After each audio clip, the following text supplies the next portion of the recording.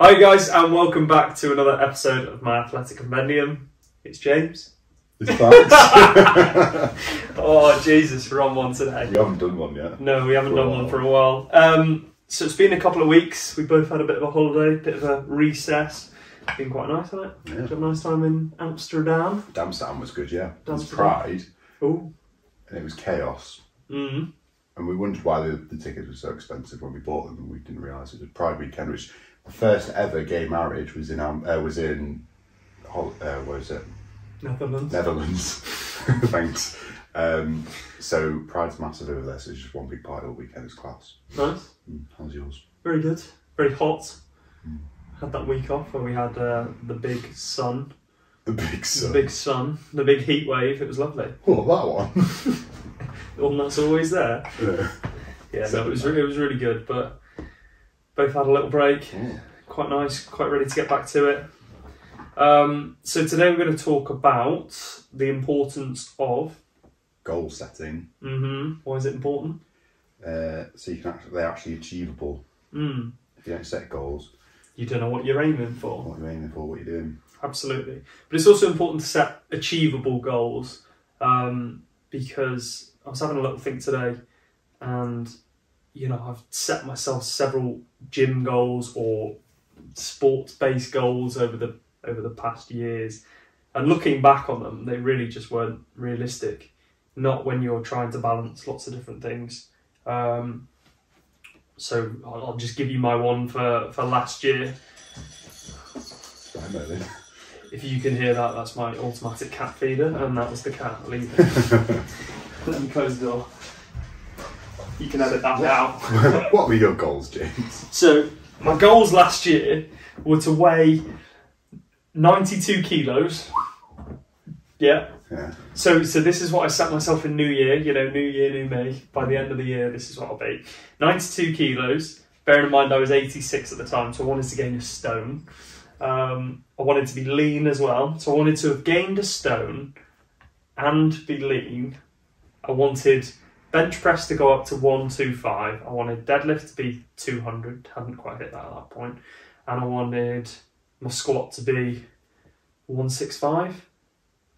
Bearing in mind, like I said, I was 86 kilos at the time. I was playing rugby three times a week. I'm working a full time job. We're doing the podcast. Not really realistic, was it? No. And you gave yourself a two week target to gym.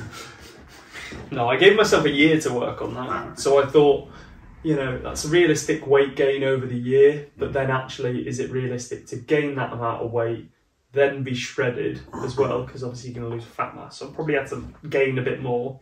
So I didn't really set myself some weight goals that were, that were good, but equally, the strength based ones, I was trying to get massively stronger in all three areas whilst playing sport and battling injuries, you know, even little niggles that just get in the way. So, Hmm.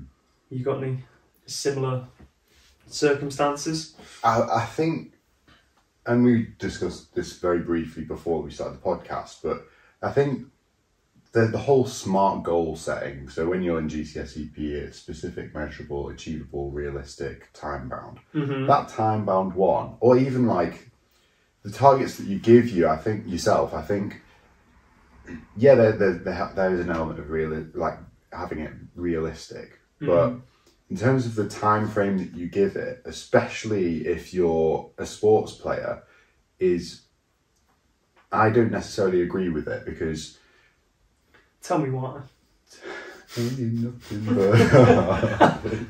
um, I don't necessarily agree with it because it puts a like obviously that time pressure, which I totally understand can be um, very useful for certain people because it kind of gives you that okay, I need to achieve it by this point in time, this this month. Uh, therefore, I need to make the actions now. Yeah. I get that. I do understand that, but I think if you're a sports player, um, which this is a, a, my athletic compendium, yeah. so a lot of, or if there are any listeners, it should be should be you know sports players or athletes or whatever. Um, I think it's good to have your goals, and it's good to, and generally you are likely to be the person that that's going to implement things to you know achieve those goals. But so many different co- Variables. variables and contributors can can come into play that will bring it forward or push it back or mm-hmm. whatever. So you know, there's injury, there's general fatigue, especially like both of us, where Yeah. we work as well as play our sport. Mhm. Um, so it's you know when you know when we have time to recover. You know, if we're mid-season, we're training twice a week, playing.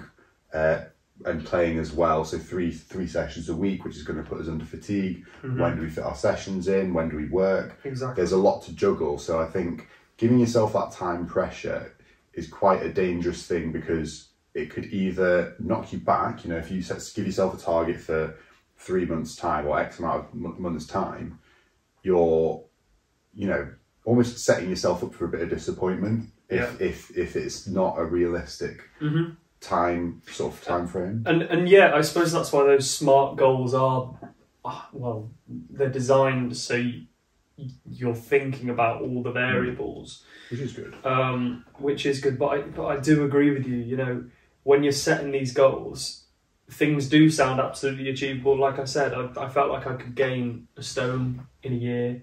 That was fine. But I think for a sedentary person, Yeah, who who doesn't play sport and doesn't have that Exactly. fatigue from training and playing, it's those those sense. body weight, body size, body composition, strength goals are so much more attainable for those people that aren't doing additional stuff like playing a sport. If you are solely going to the gym as your exercise, then gaining size, weight, and muscle, um, and getting stronger are definitely achievable. Mm. But when you're when you're trying to do that as well as play sport, almost like a professional, you're training three, you know, twice a week, and you're playing on the weekend. You need to recover, and, and actually those goals aren't attainable. So give yourself a bit of a break. Um, obviously not in your training and things like that, but in striving for certain goals.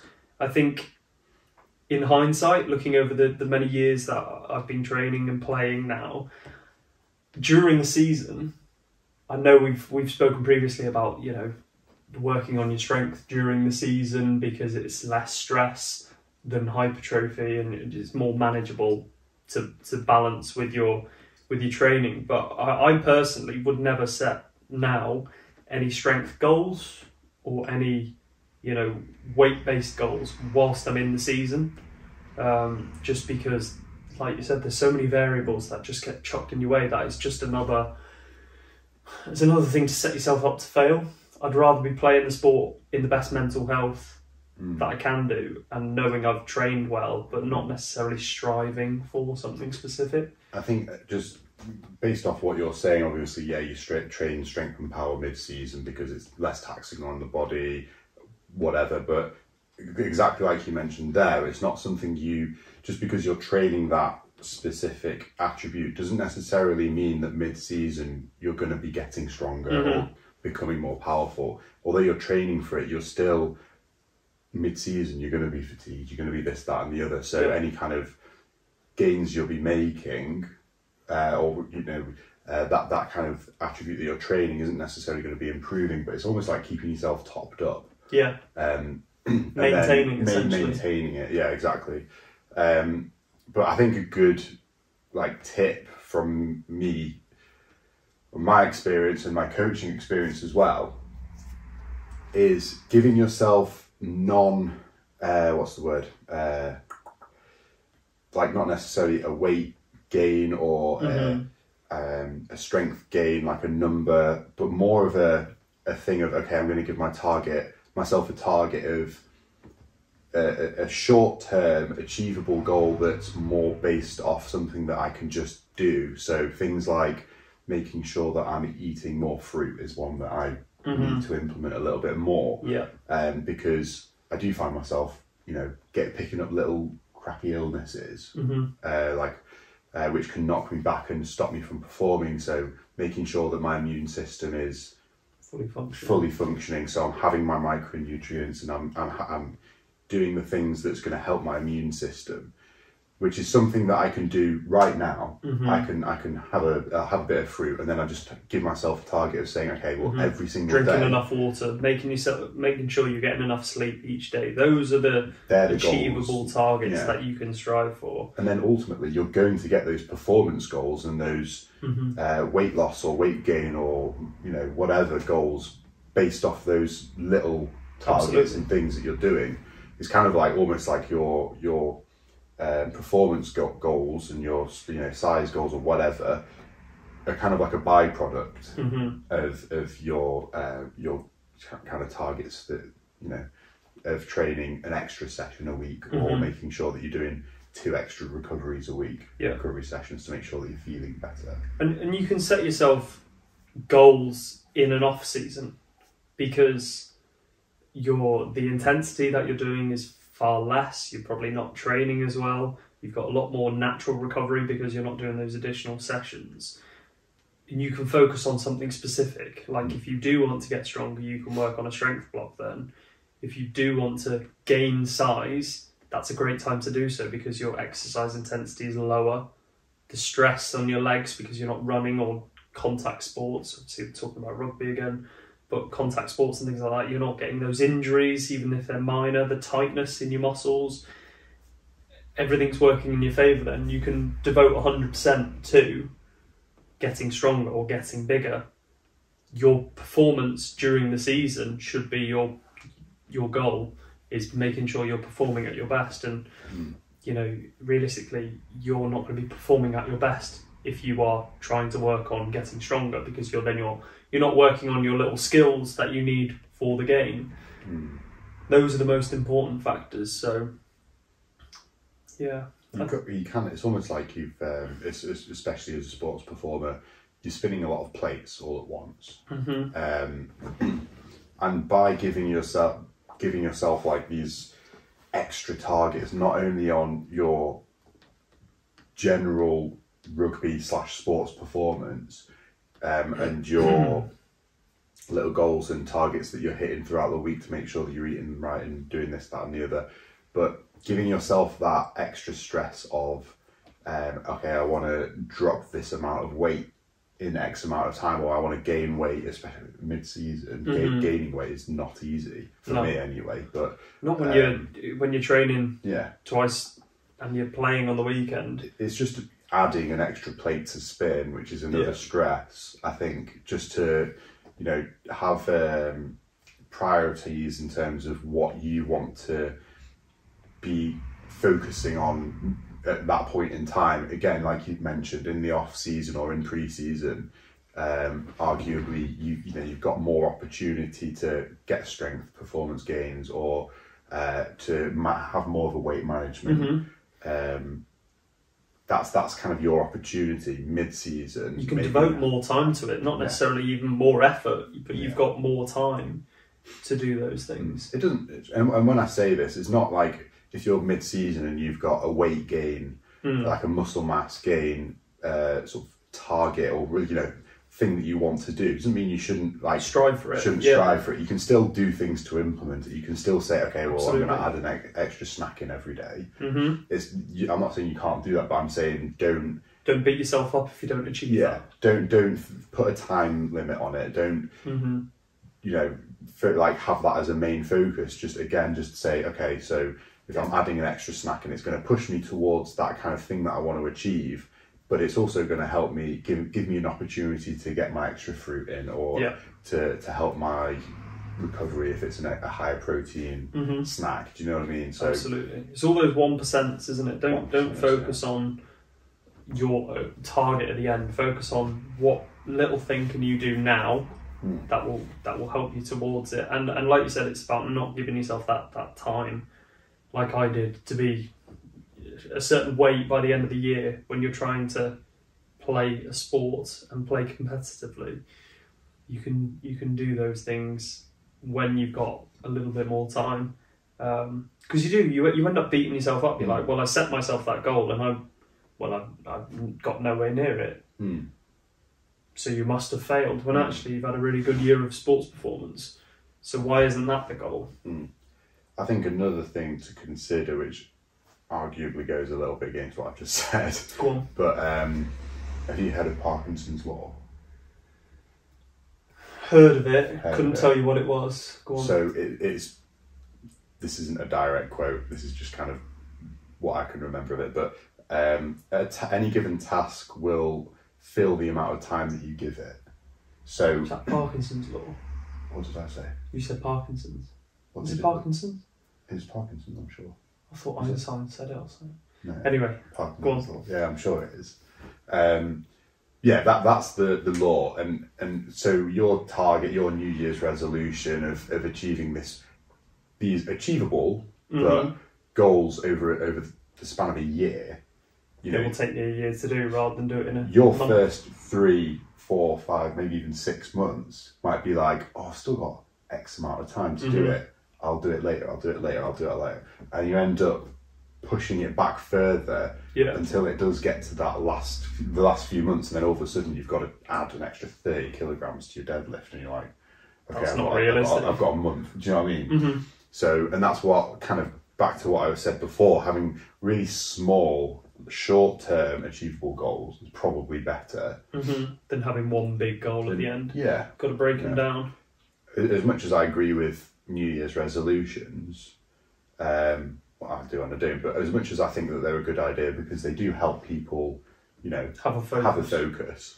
Um, but to have to, to give yourself that thing of over a year, it just it doesn't. hmm I don't think it works No. personally, but um, I know. Yeah, I, I agree. It- it- we're not saying don't have a goal in mind. Mm. We're just saying don't beat yourself up on it Mm. when you don't reach it because actually trying to strive to achieve it and making that your sole goal will probably not benefit your sports performance and that is ultimately the most important thing if you're an athlete is performing your best Mm. um, and you can focus on those other tasks when you've got less time oh, sorry when you've got more time in the off season just don't beat yourself up about it Mm. should we wrap it up there yeah, we can wrap it up there. I think that's um, we like Nice some good little tips in there. some nice little nugs nugs.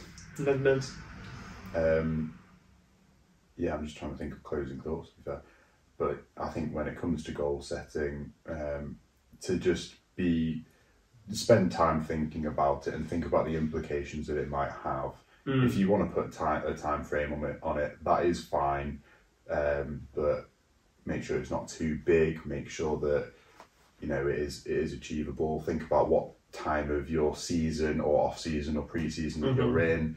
You know, is it going to be suited to that period of t- in time? Um, so really think about how it how the, it can have an like an effect on everything else Mhm. um, around it, and whether it's the right time to do it because you can put goals off to, to a more appropriate time and then focus on other areas if it's if that's if it's more suitable It's more suitable. Yeah. I agree we'll wrap it up there Mm. nice and short hope you enjoyed we'll be back next week